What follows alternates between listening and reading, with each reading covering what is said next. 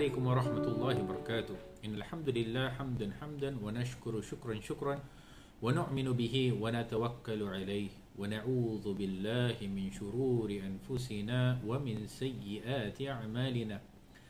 من يهده الله فلا له ومن يضلل فلا هادي وأشهد أن لا إله إلا الله وحده لا شريك له. وأشهد أن محمدا عبده ورسوله. صلى الله عليه وسلم تسليما كثيرا كثيرا. رب اشرح لي صدري ويسر لي أمري واحلل عقدة من لساني يفقه قولي. اللهم ربي زدنا علما وارزقنا فهما سبحانك لا علم لنا إلا ما علمتنا إنك أنت العليم الحكيم. اللهم أرنا حقا حقا وارزقنا اتباع وأرنا باطل باطلا وارزقنا وَكُلِ الْحَقُّ مِنْ رَبِّكُمْ الحمد لله praises and thanks to be Allah subhanahu wa ta'ala who has given us this opportunity to meet online. May this lesson be a means of salvation for the sins we have committed. May Allah subhanahu wa ta'ala grant us better ability to understand his deen.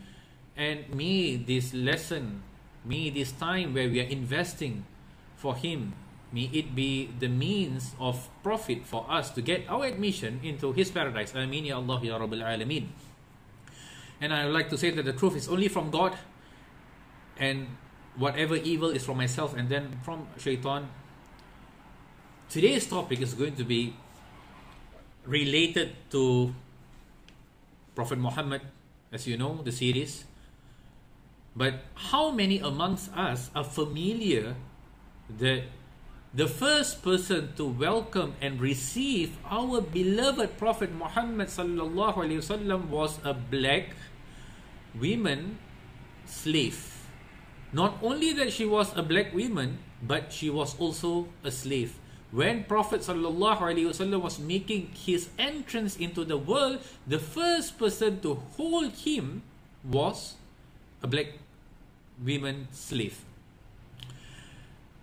Today, in our series, emulating the approach of the Prophet in captivating society, we will be exploring on the birth of Prophet Muhammad sallallahu which is introduction of Prophet Muhammad through birth into this world. The topic of discussion or sharing is not going to revolve around the date of his birth because there are many different opinions by different scholars regarding his date without having a proper basis on it. And the topic of the date has been a very controversial topic. It is a very heated matter, a heated topic throughout history to the extent that people focus has been on quantity, i.e., which is number and dates, than quality. Learning essential lessons from the life of Prophet Muhammad sallallahu alaihi wasallam to enhance and uplift our spirituality. That should be the purpose of learning the sirah.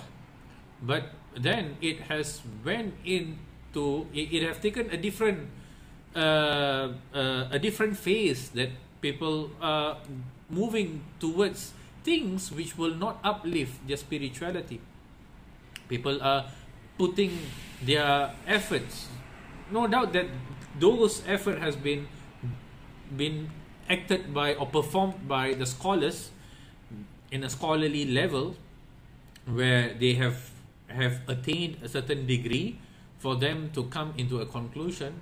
But for us, for you and me, when we want to learn from the life of Prophet Muhammad sallallahu it should elevate our faith within ourselves from his from his life story. Every single part of his life, every section of his life, every episodes of his life, we should learn lessons rather than we delving into topic of dates and Allah subhanahu wa ta'ala, the, the creator of all his creation, have never emphasized upon quantity over quality. he has always emphasized the vice versa, which is quality over quantity. For instance, for instance, from the revelation of Allah subhanahu wa ta'ala, which is the Quran. When Allah subhanahu wa ta'ala revealed to Prophet Muhammad sallallahu alaihi wasallam regarding the story of Ashabul Kahfi, chapter number 18 of the Quran. The purpose of the revelation was to explain to the society that the reason why the youth isolated themselves away from the society was only for them to dedicate and devote themselves solely to Allah subhanahu wa ta'ala. That was the sole purpose of them refraining away or refraining away from the society. That was the very reason. But then what became the heart of the topic? People were so curious about how many people resided or dwelled in the cave. When Allah subhanahu wa ta'ala revealed in, in Surah Al-Kahf, بعد أعوذ بالله السميع العليم من الشيطان الرجيم سيقولون الثلاثة الرابعهم كلبهم ويقولون خمسة سادسهم كلبهم رجما بالغيب ويقولون سبعة وثامنهم كلبهم. قل رب أعلم بعدتهم ما يعلمهم إلا قليلا فلا تمار فيهم إلا مراء ظاهرا ولا تستفت فيهم منهم أحدا ولا تستفت فيهم منهم أحدا. That they all started together. And they started to have a argument between themselves that how many of the youth resided in the cave? Was it three or four? Or was it five or six? Rajuman bil ghaib just throwing, just throwing uh, the, the, the, the numbers without them having a proper target. And coming into an argument right blindly throwing numbers without basis it is the same with it is it is the same it is the very same thing with the birth date of prophet muhammad sallallahu but we have come to a conclusion by by, by holding on to Ibn, Ibn Ishaq that Prophet ﷺ was born in 12, but the date is not the matter.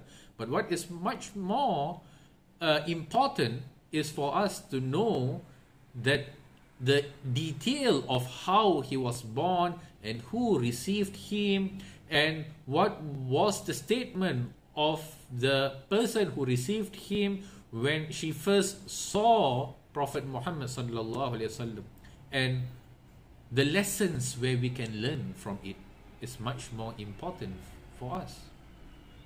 And these are the guidance of Allah subhanahu wa ta'ala. Allah guides us to a profound conclusion by revealing in His revelation that don't argue and sink yourself into matters which doesn't increase on your spirituality. There are things which does not increase in our spirituality. Certain things, right? a lot of us revolve our life just through numbers you know from from the day one of our life particularly we living as a singaporean a lot of things revolve around numbers when we go to school we look uh, no doubt that you know a number is only an indication of how well you have performed in school but that doesn't determine that you have acquired the knowledge anyone can just sit down and score good and great marks for the examination, but that does not mean that they have understood what they have learned.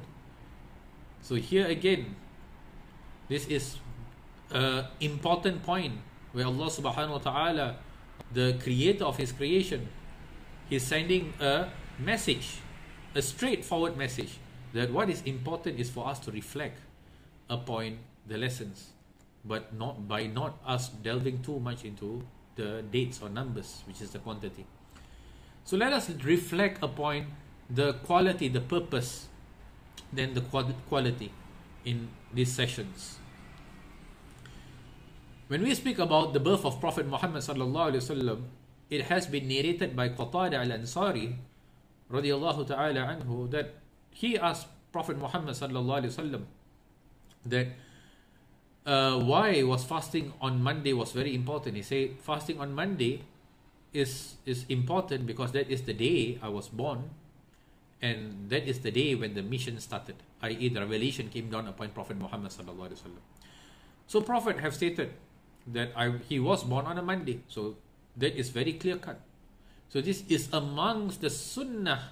It is amongst the tradition of Prophet Muhammad sallallahu alaihi wasallam that whoever wish or wants to commemorate the birthday of Prophet Muhammad sallallahu alaihi wasallam, let him and her fast on Monday.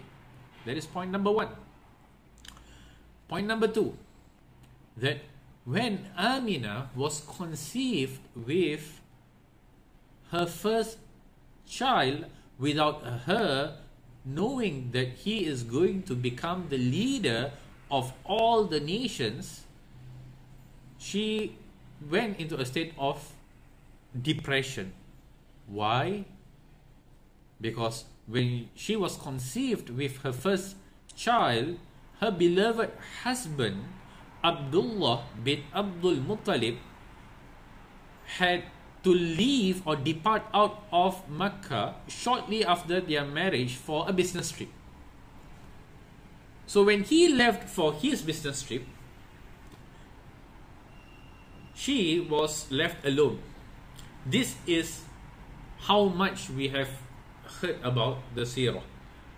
That she was struggling on uh, by herself throughout the, the the the time when she was conceived with Prophet Muhammad sallallahu. But that is not true and that is not the reality. That is not true. That is not true. For indeed, there is a story which is not that popular or which has not been highlighted in the English translation of the Sirah. Not many authors of the Sirah who have written the Sirah in English language have pointed out to a very important point the missing link. Who accompanied Amina bint Abdul Wahab during the absence of Abdullah bin Abdul Muttalib? Amina was accompanied by a young black woman slave by the name of Barakah. Barakah was the slave which was given as a gift by Abdul Muttalib during the marriage between Abdullah and Amina. So ever since Barakah was given as a gift, Barakah did not leave the household of Abdullah and Amina. She loved to serve both their uh, they, they, she used to call him, you know, uh, Abi wa Ummi, mom and dad. And the fact that Abdullah and Amina literally took care of her very well. And furthermore, Barakah does not even know of her own lineage. Where else for Bilal ibn Rabah, we know that you know Bilal had a father named Rabah. But for however for Barakah, she does not even know who is her own parents. That was the state of that woman. And moreover, you know, there are some narration which has been stated that she was not a very attractive lady.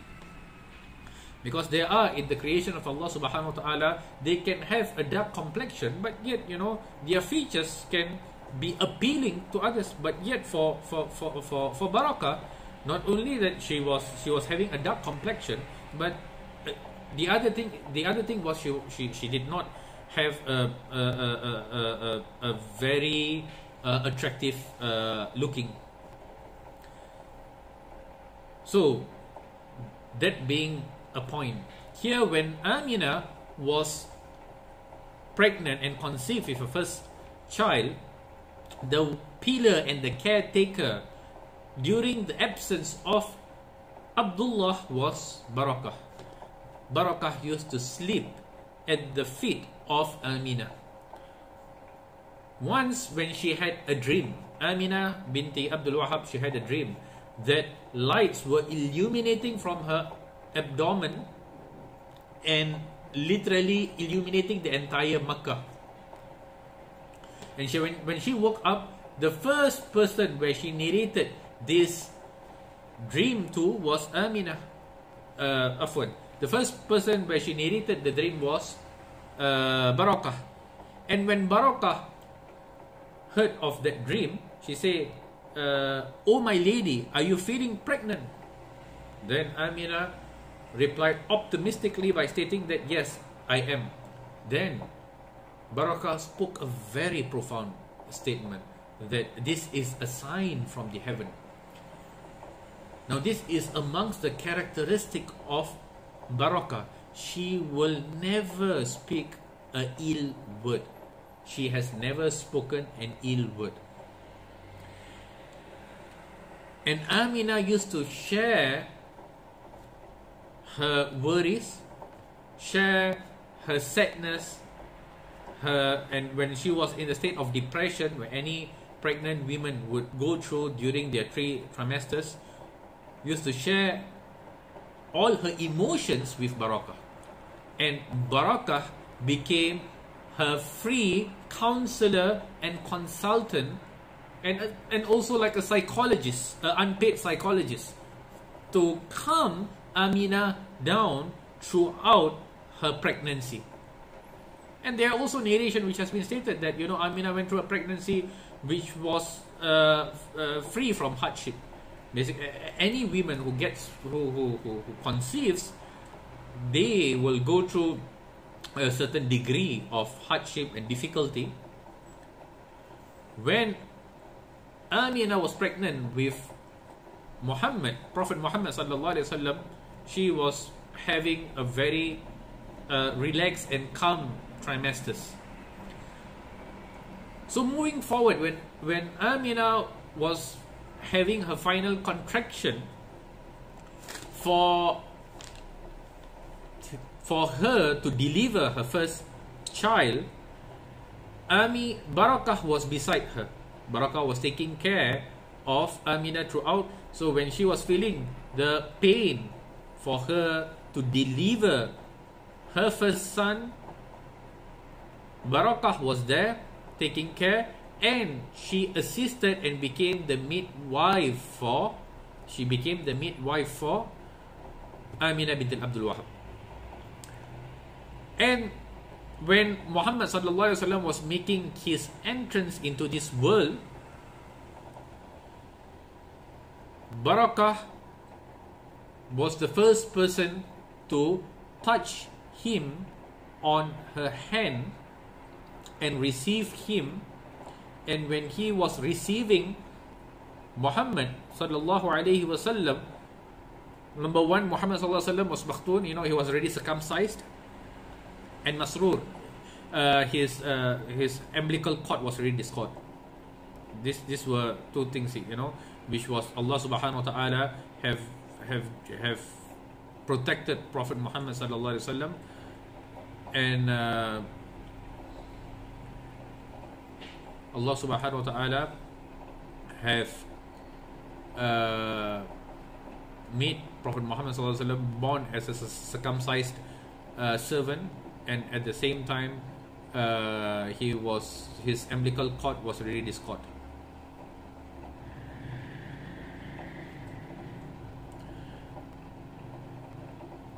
So Prophet Muhammad was making his way out of Amina's womb and was held by a black woman slave, which was Barakah, who said a profound statement to Amina while holding him. He resembles the moon, O Amina, because of the light, the nur of Muhammad sallallahu alaihi wasallam. And that gave a delight. Her statement itself brought a lot of joy to the life of Amina radiallahu ta'ala anha. Now, let us pause here for a while. And let us reflect upon this episode of Prophet Muhammad sallallahu alaihi wasallam is being received by a black slave woman. A black slave woman who does not even aware about her own lineage. Who's not who's not even aware about her own lineage and this is by the wisdom of Allah subhanahu wa ta'ala. Allah in His great wisdom have never neglected any of His servant. Allah has proportioned and divided for every servant their own responsibility, regardless of their complexion. And Allah has decreased and destined the leader of all nations to be received by a black woman slave. When Allah says in the Quran in Surah As-Saba, verse number 28, وَمَا أَرْسَلْنَاكَ إِلَّا كَافَةً لِلنَّاسِ بَشِيرًا وَنَذِيرًا We have indeed sent you not except to the entire nation as a glad tider, giving glad tiding and a warner. Warner to the entire nation, regardless of the person is being black or white, tall or short, having an inquisitive mind or an in-inquisitive mind, whoever you are, Prophet Muhammad is the lead, leader to the entire nation, and that is a message which is being prepared by Allah subhanahu wa ta'ala from the beginning of his birth. That the person to receive him should be a black slave, sending a message across that this message can be accepted by anyone. And it is not only a specific uh, or exclusive message to a, a particular group or particular tribe or a particular secretariat. It can be it can be open to anyone. And that is the very reason why he has been sent. And he has been sent a mercy not only to the arab but to ajami right to a non-arab to a, uh, to a non-arab. And he was sent to the black and the white where this message this message of Allah subhanahu wa ta'ala, the guidance of Allah subhanahu wa ta'ala to the entire humanity. And when the human being is going to hit a point, the revelation of Allah subhanahu wa ta'ala, then he admits himself into the paradise of Allah. Bar- Barakah, she received him, right? When she does not even know her own lineage, but Allah honored her in this world and she is amongst the dwellers of the paradise. Allah created creation in different forms and shape for two purpose. For two purpose. Number one, it is because Allah subhanahu wa ta'ala have created different forms for identification. Number two, for introduction. Number one is for identification. Number two is for introduction to identify each other. If everyone is going to look the same, then what is the purpose of his creation? Then everyone will get bored. If there is no tall, there's no short, there's no black, there's no white, there's no brown, there's no, you know, reddish complexion, then then everyone looks the same, right? Then then then basically uh, you'll get bored. It's like eating the same food every day. You'll get bored. So there are different dishes which has been set the fact that there are different dishes, different uh, food we like to consume, even in a daily basis, what more but His creation? Allah subhanahu wa ta'ala, when He created, created human, He created in different forms. When Allah subhanahu wa ta'ala uh, reveals in the Quran, when He says, Ya ayyuhan nas, inna khalaqnaakum min zakarim wa unsa, waja'alnaakum shu'uban wa taba'ilan lita'arafu inna akramakum inda Allahi atqaakum inna Allah alimun khabir. Now, by by means of these general uh, addresses, by by means of these general addresses, the evil of showing pride and vanity on one's lineage and family and tribe is uprooted in one stroke. People are told, people are told to fully keep in mind the fact that they are the progeny of one man and women. Who is the one man and women? Adam and Eve. Adam alayhi salatu wasalam and Hawa alayhi salatu wasalam. We all come from there, regardless of race, language, or religion. At the end of the day, we escalate back. If you want to rewind back in your life, you, everyone would agree that we came from Adam and Eve. And Adam and Eve came from, Adam came from soil. And Allah says in the Quran, إن مثل عيسى إن مثل عيسى كمثل آدم خلقه من تراب ثم قال له كن فيكون that the way Isa alayhi salatu wasalam is created is almost same with is exactly the same with how Allah created Nabi Adam created from turab from dust and soil and from which you have the creation and the very reason why Nabi Adam alayhi salatu wasalam was expelled out of paradise is it was because of jealousy.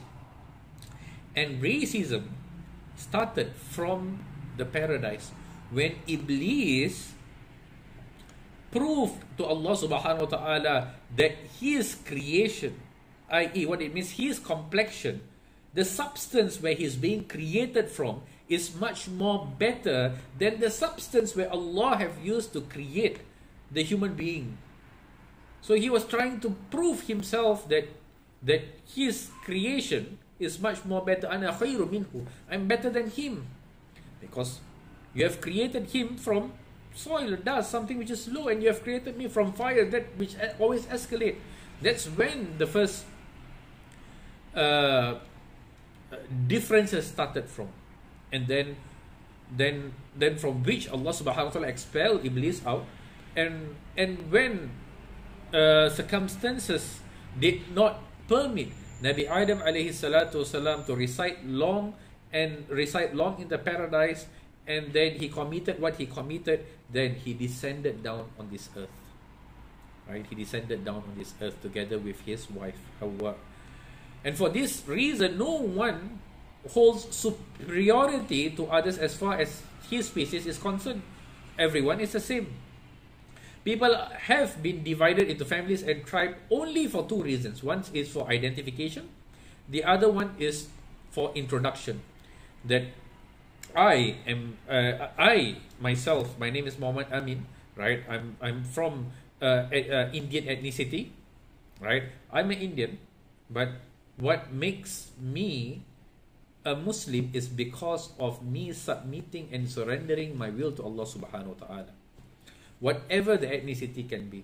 The minute a person takes the shahada and submit and surrender his will to Allah subhanahu wa ta'ala, what is important here for us to know is at the end of the day, regardless of whichever race you are from, whatever language you can speak, the minute the person testify to Allah subhanahu wa ta'ala and follow the guidance of Prophet Muhammad sallallahu alaihi wasallam, he is a Muslim.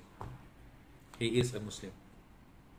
And here the complexion, you know, the other physical form, the looks, the colors, and the physics, you know, the, the, the, the physical feature are concerned so that people can identify one, one another. This is the very reason. It does not go beyond it. Right? It doesn't go beyond it.